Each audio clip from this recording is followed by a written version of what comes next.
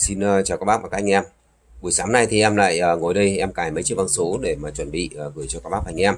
Thì uh, trong đó có một chiếc uh, vang số 1080M uh, cài cho một bác ở Nghệ An. Và hiện giờ thì bác này bác ấy đang sử dụng uh, một đôi loa uh, đôi của hãng JBL Bass 40 và bác ấy có yêu cầu là làm một cái mốt uh, chuyên nghe nhạc phần tép sáng và bát sâu phần tép sáng và bát sâu và cũng có một số uh, các bác uh, anh em cũng có ờ, cái đề xuất là uh, em chia sẻ một cái cấu hình định giọng ở trên uh, cái dòng con số 1080M này. Thì uh, nói về cấu hình định giọng em thì em làm uh, 4 năm cấu hình thì uh, bao giờ cũng có tối tiếng sáng tiếng định giọng gì vợt uh, dễ hát hoặc là thừa bát tiêu chép chẳng hạn. Thì uh, em mới nói tại sao em lại nghĩ ra cái cấu hình định giọng mà cũng xuất phát từ cái vấn đề mà kinh doanh karaoke. Ngày xưa em kinh doanh karaoke thì nói đến làm dịch vụ thì nó rất là đa dạng về cái uh, chất âm của cái người khách đến hát. Uh, có những người giọng khô khàn có những người giọng mở đục có những người giọng đanh chóe the thé ra. Và đối đối với những cái người mà như vậy cái giọng hát không tốt thì thường thường người ta rất ngại hát. Người ta ngại hát và người ta lại muốn có một cái nền nhạc ờ, uh, mà hát át đi. Uh, thế cho nên rằng em mới làm một cái cấu hình uh, định giọng là như thế bởi vì cái phần effect uh, ờ, sẽ hỗ trợ uh, cho cái uh, việc là dễ hát. Và cái phần mic thì uh, âm lượng nó nhìn hơn một chút. Và cái phần nhạc thì uh, sẽ thúc đẩy uh, về cái phần âm bát thúc đẩy về phần âm bát lên. Và cái phần âm chung vừa phải âm âm chung có khả năng phải giảm nhiều để cho nó nổi cái giọng lên. Và cái chất âm chép thì nó cũng phải đẩy lên một chút và kể cả là ở cái phần súp kể cả là cái phần súp ở trong cái cấu hình này, thì là em vẫn để một cái âm lượng nó sẽ lớn hơn so với cấu hình bình thường. Ờ, để cho nó có một cái sự phối hợp tổng thể ờ, với lại cái đầu vào. Ờ, giả dụ như là cái phần music này, là mình như vậy là tăng về phần bát này. Âm lượng thì lớn hơn so với bình thường. Thì ở cái phần súp thì tất cả các cấu hình mà em cài cho các bác anh em ấy, thì thì cái cấu hình sáng tiếng và tối tiếng thì cái súp này nó cũng sẽ liên quan đến các cái cấu hình tối tiếng sáng tiếng. Giả dụ như cấu hình tối tiếng thì uh, một cái chất âm mà nó sẽ là dịu uh, về cái phần âm bát tức là nó ít phần âm bát và đẩy cái phần âm chép lên nhiều hơn. Cho nên rằng ở cái cổng súp này thì cũng uh, uh, nhỏ hơn một chút so với cấu hình sáng tiếng. Và cấu hình uh, định giọng thì cái phần súp lại là tăng nhiều hơn so với cấu hình uh, tối tiếng và sáng tiếng. Đấy là cái phần nhạc thì em chia sẻ trước với các bác anh như thế. Bởi vì để ra một cấu hình mà gọi là định giọng ra mic. Em vẫn làm một cấu hình ờ, uh, định giọng ra mic. Thì cái phần mic và phần effect là phải hỗ trợ cho cái giọng hát. Và cái phần nhạc thì uh, có đẩy về cái âm lượng cũng như là về cái phần âm sắc của cái giải thấp lên. Để nó làm ờ, uh, át đi làm lấp đi những cái điểm khiếm khuyết của cái người hát không tốt.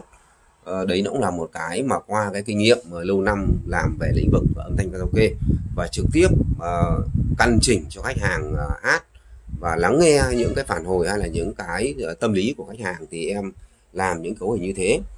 Thì cái cấu hình này thì nó sẽ như thế nào? Cấu hình này nó như thế nào thì em chia sẻ luôn với các bác như thế này. Bởi vì cũng theo một cái đề xuất của một uh, vài uh, anh em là làm một cấu hình định giọng thì em mới phân tích về cái cấu hình định giọng trong từng phần thì phần nhạc nó như thế nào phần mic nó như thế nào và phần effect như thế nào. Thì nói phần mic thì ở mới cấu hình và định giọng ở một cấu hình định giọng thì uh, như các bác em nhìn thấy thì đối với chiếc vang giang số 1080M hàng bãi này thì uh, nó tương đối đều dài về cái chất âm phần mic tương đối đều dài cho nên là em không xử lý nhiều ở trên cái giải quay dơ mà chỉ có một hai ba bốn điểm ở cái giải cao có xử lý. Thì những cái điểm ở giải cao này nó cũng rất quan trọng. Chúng ta đối với em thì tăng thì em tăng không nhiều đâu.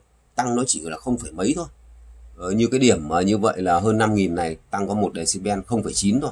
Điểm này tăng có 0,9 thôi. Và cái điểm 7.600 này là tăng có 7.600 này. Như các bác nhà nhìn thấy nó tăng có 0,7 thôi. 7.600 hoặc là cái điểm 9.000 này tăng có 0,8 và cái điểm 10.400 này 10.000 10.000 là tăng có 0,4 10.000 nó tăng có 0,4 và cái điểm 5,4 này là tăng 0,9 cái điểm 4 Ờ, 4.000 rưỡi này tăng có 0,8 ở cái giải cao này em tăng không nhiều nhưng chất âm mic nó vẫn vẫn sáng đẹp vẫn sáng vẫn bay. Bởi vì tại sao? Mình biết là biết chọn tần số. Những cái tần số này là nó sẽ có một cái chất âm nó làm cho cái phần mic nó có độ bay độ sáng độ bay độ sáng. Nhưng nó còn liên quan đến cái uh, biên độ. Không phải là tăng nhiều lên mà như vậy chất âm mà nó lại là nhiều chép hoặc nó sáng lên. Mà tăng nhiều lên có khi nó lại như vậy là làm mờ tiếng đi hoặc là cái giá trị quy để chẳng hạn chúng ta thay đổi giá trị quy này nó cũng làm cho cái chất âm nó bị mờ đi nó thiếu đi cái độ sáng độ tự nhiên. Cho nên cái cái vấn đề tăng là tăng bao nhiêu? Ừ, tăng không phải là nhiều mà chọn những cái điểm tăng là một. Hai nữa là tăng chỉ cần 0,2 decibel thôi một một decibel thôi nó đã khác. Hoặc là giá trị quy thay đổi một chút thì nó đã khác. Và cái điểm ở cái giải trung cao này chẳng hạn lại giảm giảm để cho nó làm nổi bật các cái giải tần số ở cái giải phía trên nó. Ờ, ở đây là giảm. Thì đối với chiếc vang số này là cái phần mic thì em chia sẻ như thế và bây giờ em thử luôn cái phần mic để cho các bác thấy được rằng là cái việc tăng ấy đây giả dụ như là cái tần số 5,4 nữa à, 5.400 này chẳng hạn. Hiện giờ là tăng 0,9 decibel và giá trị quy đang để là 12,5 thì bây giờ giả dụ như tăng lên chẳng hạn. Cho mic lên to tí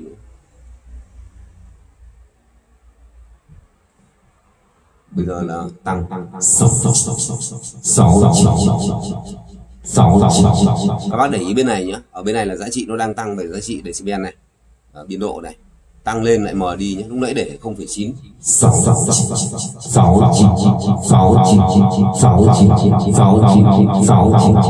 đấy chỉ là một điểm thôi nhé chứ còn giả dụ để 0,9 này sáu sáu sáu sáu sáu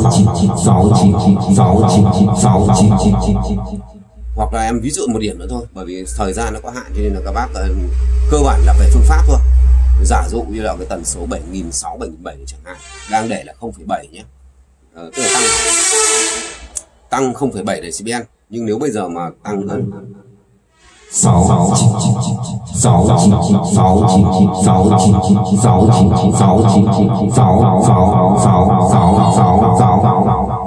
khi tăng lên đến ờ, 5,4 decibel các bác thấy là cái âm xét nó thế nào? Nó đã hỏng mất cái phần âm xét rồi. Sáu hoặc là bây giờ em để mới thay đổi giá trị quy thôi em ví dụ thôi. Chứ còn nếu mà để mà làm hết thì 0,7 này.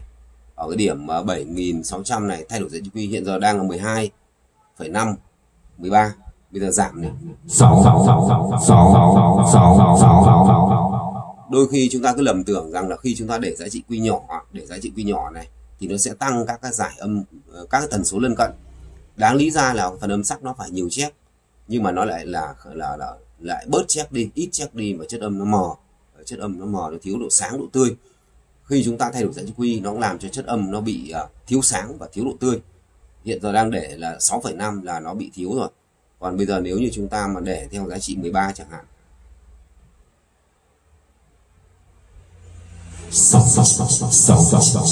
hoặc là tăng lên quá này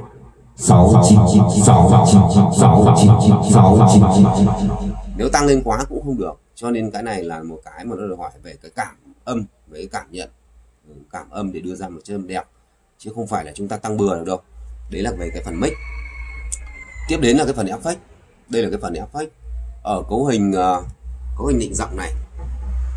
Thì cái phần effect thì việc đầu tiên chúng ta sẽ tăng cái delay thai bởi vì sao? Cái delay thai là một cái khoảng thời gian uh, tức là độ trễ của hiệu ứng cho. Thì đối với những người mà như vậy có giọng khô giọng khàn uh, thì có thể là chúng ta tạo một cái độ trễ như này. Hoặc là những cái chị em mà như vậy là có cái giọng đanh giọng uh, chua giọng gắt thì uh, tăng cái delay thai này nó sẽ làm cho mềm tiếng đi nó làm cho mềm tiếng đối chị em mà như vậy là có cái giọng hát đanh ừ, chua đanh gắt chói chẳng hạn. Thì à, khi mà chúng ta sẽ tăng cái thời gian của delay lên thì như vậy nó sẽ làm dịu. Và cái việc chúng ta tăng delay thì chúng ta phải phải tăng. Cái này thì theo kinh nghiệm của em thì nó phải tăng về cái uh, ở trên cái dòng 1080m thì cái cái e cho volume decay này chính là cái Gbit thì cái Gbit này chúng ta cũng phải tăng lên nó theo một cái sự tỷ lệ thuận uh, là chúng ta phải tăng khi chúng ta tăng delay thì chúng ta cũng phải tăng Gbit đấy là kinh nghiệm của em. Và một vấn đề nữa, đáng lý ra một cái cấu hình mà để cho dễ hát, thì cái ờ, cái cái gì vợt level này thì thường thường là giảm. Bởi vì để dễ hát thì phải nhiều cho ít gì vợt nhiều cho ít gì vợt còn ở đây nó là một cái tỷ tỷ lệ không phải là nhiều gì vợt nhưng nó nhỉnh hơn một chút. Đáng lý ra nếu dễ hát, nếu mà để một cấu hình dễ hát thì có thể là phải giảm đi một chút. Hiện giờ là gì vật level đang ở 33 nếu mà để cho dễ hát thì có thể để 31 hoặc 30 sáu sáu sáu sáu sáu sáu sáu sáu sáu sáu sáu sáu sáu sáu sáu nếu để dễ hát thì là để 29 chẳng hạn nhưng mà nếu như mà mà để uh, cho những cái người mà giọng khô giọng khàn hoặc đanh chế thì có khi phải tăng lên nó 33 34 sáu sáu sáu sáu sáu sáu sáu sáu sáu nhưng mà tăng quá cũng không được nó phải có tầm của nó thì đấy là những cái đặc điểm ở trên cái cấu hình mà định giọng. Ờ, đây là các bác có thể là tham khảo một cái uh, cái thông số ở trong cái phần effect uh, ờ, ở đây di vật ờ, di, vật level này gì vật pedal này gì vật thai này e cho level này e cho pedal này e cho thai này e cho start này e cho repeat này và cái bù trừ tần số. Thì đây các bác có thể tham khảo đây còn ngoài ra để mà làm một cấu hình có chất âm sáng đẹp nữa thì nó còn liên quan đến cái uh, giải quay dơ ở trong cái phần dị vật. Cắt tần số thấp cắt tần số cao. Rồi liên quan đến cái cắt tần số thấp cắt tần số cao trong những cái cho và một các cái điểm cần căn chỉnh ở trên cái giải quay dơ. Ngoài ra nữa thì ở cái phần main ở cái phần main đây thì một cái tỷ lệ nó cũng rất quan trọng một tỷ lệ rất quan trọng. Uh, e cho để bao nhiêu gì vật để bao nhiêu cái này nó là một cái mà đòi hỏi cái sự cảm âm chỉ cần chúng ta thay đổi một chút về gì vọt, thay đổi một chút về e cho thì cái chất âm nó đã khác rồi. Nó đòi hỏi một cái tỷ lệ pha trộn phải nói là rất là nghiêm khắc chứ không phải đơn giản. Để có một cái chất âm mà nhiều người hát được nhiều người dùng được thì là nó có một cái tỷ lệ phải nói khắt khe. Chứ còn đôi khi các bác cứ bảo là như vậy là là để chế độ nhiều e cho chế độ ít e cho ờ, chế độ gì vợt nhiều chế độ ờ, e cho nhiều thì cái tỷ lệ này nó đòi hỏi có một cái sự liên kết có một sự pha trộn phải nói rằng nó rất khắt khe.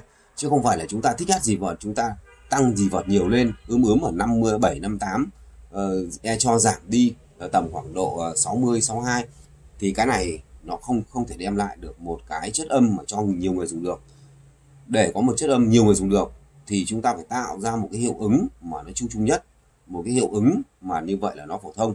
Còn khi mà như vậy nó về uh, về gia đình chẳng hạn về các cái phòng của các bác anh em không gian khác nhau thiết bị khác nhau thì chúng ta sẽ thay đổi ở cái ở cái volume. Tức là ở có thể là ở cái gì vật level có thể là ở cái echo level hoặc có thể là ở cái phần tổng. Và chúng ta sẽ thay đổi về cái echo gì vật tổng. Chứ không phải là cái vấn đề mà như vậy là cái tỷ lệ echo ở trong uh, cái sự pha trộn ở trong phần bên. Thì đây nó cũng là một cái mà như vậy là em muốn chia sẻ với các anh em. Một cái cấu hình uh, hát gì vật à mà một cái cấu hình hát định giọng. Một cấu hình hát định giọng. Thì trong đó thì chúng ta sẽ xử lý ở cái phần mic. Rồi chúng ta sẽ à bây giờ em mới chia sẻ các bác về cái phần nhạc. Quên phần effect ờ, chia sẻ rồi. Phần effect chia sẻ rồi. Phần uh, mic chia sẻ rồi. Còn cái phần music. Thì ở cái cấu hình uh, định giọng và nhạc ra mic thì các cái điểm tần số giả dụ bác này bác yêu cầu một cái cái chất âm mà nó độ sâu, thì một cái chất âm trầm sâu thì nó phải là các cái tần số thấp. Càng thấp dưới này thì âm trầm càng sâu. Giả dụ tần số 30 35 nó sẽ sâu hơn 40 hay 50 nhưng ở đây em sử dụng hai tần số, một tần số 40 và một tần số là trên 50 cỡ khoảng 53 54 53 54 hoặc 55 tăng lên một chút để cho cái âm trầm có độ sâu hơn, độ sâu hơn độ lực hơn ở cái độ sâu ở cái tần số 40 độ lực ở cái tần số trên 50 và ở cái tần số trên 80 khoảng 85 87 chẳng hạn giảm đi. Bởi vì ở cái tần số này khi chúng ta mở lớn ấy, cái tần số này nó hay gây cho chúng ta cái cái cái cái cái, cái cảm giác khó chịu. Ở nó nó có cái một cái chất âm mà nó tạo nên cái tiếng ình ịch cái tiếng mà như vậy là nó rất là khó chịu. Chúng ta cảm thấy là nếu mở lớn ngồi gần sẽ lại bị uh, tức ngực ù tai và đôi khi chúng ta giảm ở cái tần số này, nó sẽ làm nổi bật các tần số ở xung quanh lên. Thì chúng ta sẽ giảm ở tần số trên 80 vào cái tần số để cho cái âm trầm nó cắt gọn, nó có độ tròn và độ gọn thì ở tần số trên 100 cỡ khoảng 130 140 thì các bác ờ, xem em căn chỉnh thì đa phần ở cái giải trung trầm này em giảm em giảm. Thì ở cái tần số 130 140 là giảm nhiều hơn. Tần số 170 180 cũng giảm. Tần số 250 cũng giảm. Và để cho một cái âm âm bát mà nó có cái độ mềm mại. Ờ, có độ mềm mại thì tần số trên 300 cũng giảm. Tần số trên 300 cho đến dưới 400 giảm đi một chút để cho âm bát ờ, một là cái âm bát nó có độ mềm mại, hai nữa là về cái khi mà nghe nhạc thì chúng ta cảm thấy là cái lời hát của ca sĩ nó cũng có cái độ mềm mại hơn và nó sẽ ờ, làm sáng giọng hơn, làm sáng giọng hát hơn. Và phần trung thì như các bác có thể là nhìn thấy là giảm rất nhiều ở khu vực trung và cái giải trung cao, tần số ờ, lân cận 2.000 tần số lân cận 3.000 là giảm và tăng một vài điểm ở cái tần số chép, tần số 4.000 rưỡi, tần số trên 5.000 tần số trên 7.000 tần số 9.000 tần số trên 10.000 và tần số dưới 15.000 đây là những cái điểm mà cần thiết khi mà ờ, bác này bác yêu cầu một cái chất âm mà cái nhạc nó có cái độ ờ, bén độ bén, độ tí tách của cái phần âm sắc và cũng như phần mic thì cái việc mà chúng ta tăng bao nhiêu và giá trị quy chúng ta để bao nhiêu đấy là một cái cái cảm giác. Đấy là một cái cảm giác. Không phải chúng ta như vậy là là em thấy nhiều các bác anh em là như vậy là khi tăng thì chỉ tăng một điểm thôi. Chọn một điểm uh, xong bắt đầu tăng hết lên. Giả dụ như bây giờ thế này. Đôi khi là các bác uh, tăng thì lại tăng thế này tăng như thế này.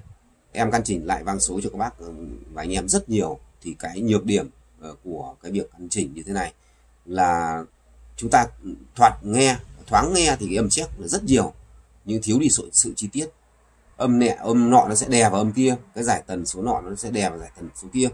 Nó thiếu đi cái sự chi tiết của cái phần, uh, phần âm sắc.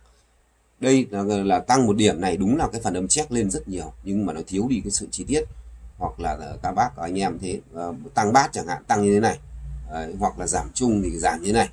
Uh, thì đấy nó cũng là một cái mà chúng ta cần phải xem xét về cái vấn đề mà khi chúng ta giảm giá trị biên độ thì nó có liên quan đến giá trị quy.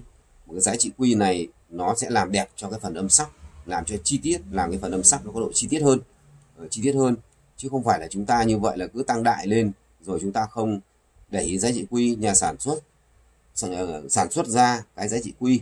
Và nó khác với lại cái ờ, equalizer cơ ừ, thông thường ở cái chỗ là nó có giá trị quy. Và chính cái giá trị quy này nó làm cho chất âm nó có sự mềm mềm mại có sự mềm mại. Còn đối với leo quay dây ờ, leo quay equalizer thông thường ấy thì khi mà chúng ta tăng là chỉ tăng cái điểm thôi. Rất nhiều điểm ở trên có thể 32 cần hay là 36 cần thì nó chia làm rất nhiều giải uh, li ti gần gần nhau. Nhưng mà nó lại khác là khi chúng ta tăng là nó chỉ tăng giải thôi. Nhưng đối với số nó sẽ tăng những tần số lân cận. Mà đôi khi chúng ta tăng tần số lân cận thì lại không có lợi cho cái tần số chúng ta cần tăng. Thế cho nên là đây nó cũng là một cái mà em chia sẻ với các anh em về một cái cấu hình ở trên cái dòng băng số 1080 m bãi.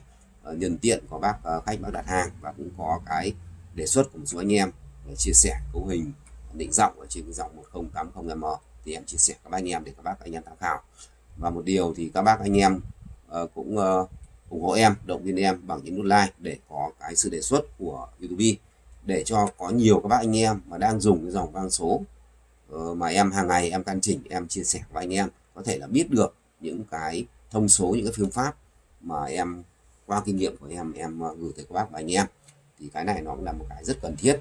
Ờ, thì hàng ngày em nhận vang số của các bác gửi đến căn chỉnh cũng như là em căn chỉnh để mà bán cho các bác anh em thì em lại có dịp chia sẻ các bác anh em uh, mỗi ngày một ít để các bác anh em có thể là tự mình uh, khám phá và căn chỉnh những chiếc vàng số đang dùng được tốt hơn.